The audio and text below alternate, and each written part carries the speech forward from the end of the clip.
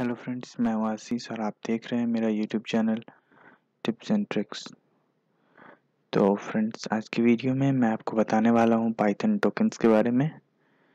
इससे पहले वीडियो में मैं आपको बताया था introduction to Python programming so ये उसका नेक्स्ट पार्ट है। तो चलिए शुरू करते हैं। पाइथन टोकन्स पाइथन टोकन्स क्या होते हैं? तो ये पाइथन टोकन्स जो होता है वो बेसिक कंपोनेंट है। किसी भी सोर्स कोड का बेसिक कंपोनेंट्स होता है। ठीक है? जिसका मतलब कि एक छोटा सा मीनिंगफुल कंपोनेंट भी आप बोल सकते हो। ठीक है? तो इसे आप अगर डिफाइन करोगे तो the smallest individual unit in a program is known as token और वही देखिए शॉर्ट में लिखा है। Basic components of of a source code is called token. तो टोकन कितने प्रकार के होते हैं? तो बेसिकली चार प्रकार के टोकन्स होते हैं। पहला keyword identifiers literals and operators तो सबको एक एक करके हम जानेंगे।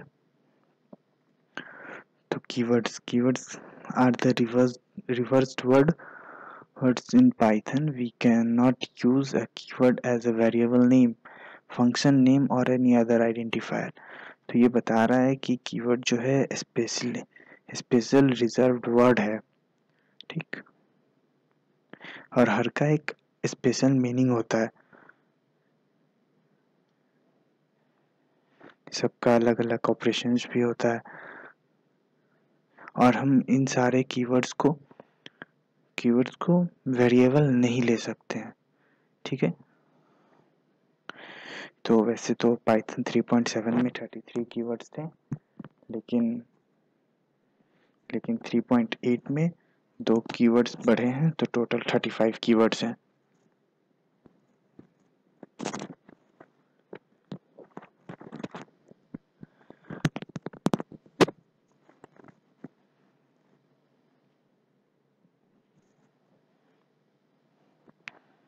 उसके बाद आइडेंटिफायर। आइडेंटिफायर क्या होता है? ये Python identifier is a name use to identify a variable function class module or other object ठीक है, आइडेंटिफायर क्या होता है? एक ये एक नाम है जैसे कि नाम को जैसे कि यूज़ करेंगे आइडेंटिफाई करने के किसी भी चीज़ को जैसे कि ये फ़ंक्शन हो गया, ये वेरिएबल है, ये क्लास है और ये ऑब्जेक्ट है। जैसे कि किसी भी चीज़ को मतलब कि आइडेंटिफाई करते हैं। जैसे कि आपका, आपके यहाँ बॉय है तो ये आइडेंटिफाई हो रहा। तो उसी तरह ये है। जैसे कि आइडेंटिफायर में मतलब कि कीवर्ड जो है आप आइडेंटिफायर नहीं ले सकते हो कीवर्ड को। तो आइडेंटिफायर जो आपका है ये, जैसे, मान के चलिए देखिए वैर यहाँ अगर आप लिख रहे हो, ठीक है, और इस वैर में डिफरेंस होगा।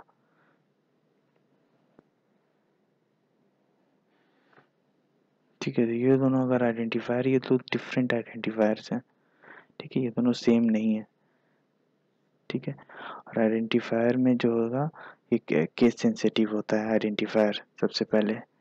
ये देखिए एग्जांपल हो गया केस सेंसिटिव का। इसमें स्पेशल करेक्टर यूज़ नहीं करते आइडेंटिफायर में एक्सेप्ट अंडर स्कोर ठीक है अंडर स्कोर के अलावा कोई भी स्पेशल कैरेक्टर आप नहीं दे सकते हो।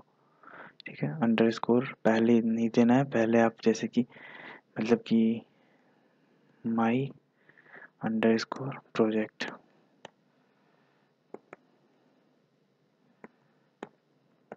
देखिए, इस तरह आप आइडेंटिफायर यूज़ कर सकते हो, ठीक। अब चलिए दूसरे की तरफ़ लिटरल्स तो फ्रेंड्स लिटरल्स चार तरह के होते हैं, ठीक है। String literals numeric literals boolean literals और स्पेशल लिटरल्स ठीक है तो स्ट्रिंग लिटरल्स जो है फ्रेंड्स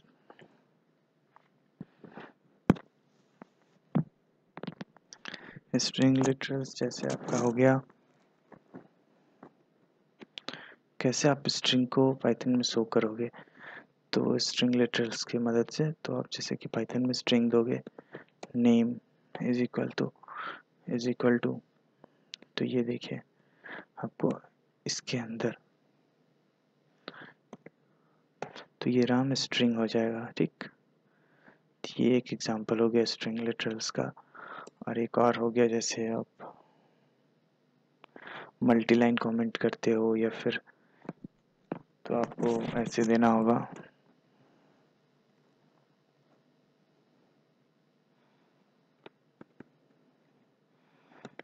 राम एज सॉरी ये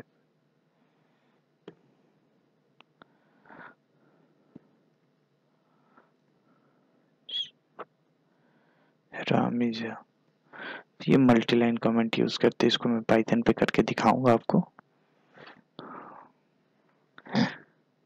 उसके बाद आता है न्यूमरिक लिटरल्स तो फ्रेंड्स न्यूमरिक लिटरल्स जो होते हैं, वो जैसे कि इसमें आपको इंटीजर आ जाते हैं लॉन्ग फ्लॉट कम्प्लेक्स आ जाते हैं।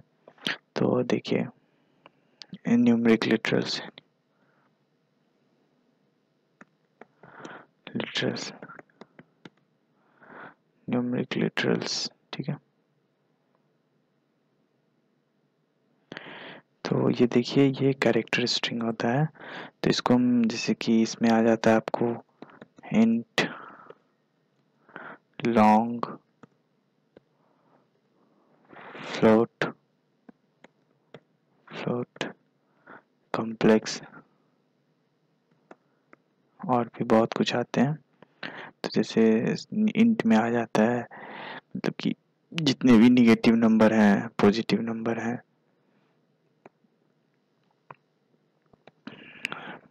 पॉजिटिव नंबर हो गए निगेटिव नंबर हो गए जो भी जैसे कि minus minus ten minus twelve minus twelve हो जाएगा प्लस टेन हो जाएगा, ये सब आपको इन टीचर्स में आ जाते हैं, ठीक है? और जैसे कि लॉन्ग में आ जाते हैं तो आप जैसे कि यूज़ करते हो लॉन्ग में लॉन्ग में जैसे आप यूज़ करते हो तो आपका जैसे आ जाता है one two three four five six seven eight जैसे जो भी हुआ लास्ट में आप एल लगाते हो। ये लॉन्ग में आ गया, ठीक है? जो कि अनलिमिटेड होता है, ठीक है? लॉन्ग मीन्स अनलिमिटेड अनलिमिटेड हो गया, ठीक है? तो इसको हम डोनेट करते हैं मतलब कि एल से इसको डोनेट करते हैं, ठीक है? और कम्प्लेक्स आ जाता है मिक्स जैसे कि one two one A one B ये सब कॉम्प्लेक्स में आ जाते हैं। ठीक है? तो न्यूमेरिक लिटरल्स कितने तरह के होते हैं? मतलब कि इसमें आ जाते हैं इन लॉन्ग फ्लोट कॉम्प्लेक्स ठीक है? अब अब आ रही है बुलियन लिटरल्स की। तो बुलियन लिटरल्स में हम आएँगे। तो देखिए सॉरी बुलियन लिटरल्स जो होता है, वो आपको क्या देता है? ट्रू और फॉल्स ठीक है? ये आपको सिर्फ़ वैल्यू आपका ट्रू में आएगा या फॉल्स में? ये दो ही इसका ट्रू रहता है या फिर फॉल्स रहता है? ठीक।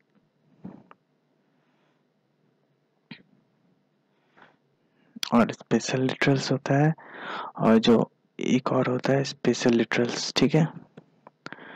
तो इस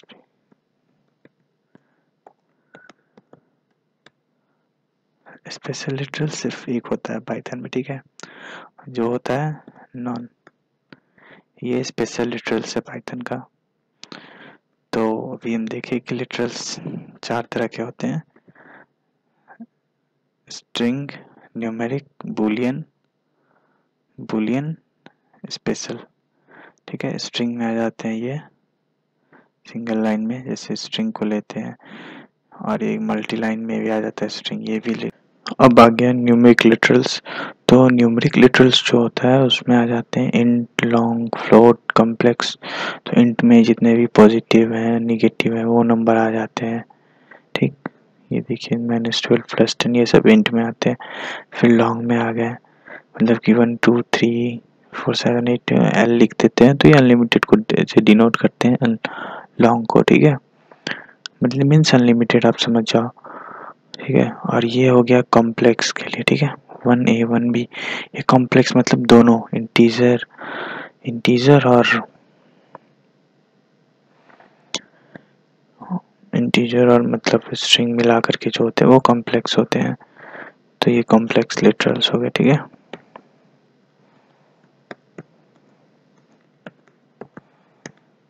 ठीक अब चलते हैं बुलियन क्या होता है? ठीक है बुलियन लिटरल्स क्या होते हैं? बुलियन लिटरल्स आपको क्या रिटर्न करता है? ट्रू होगा या फिर फॉल्स होगा? सिर्फ़ ये दो। ठीक?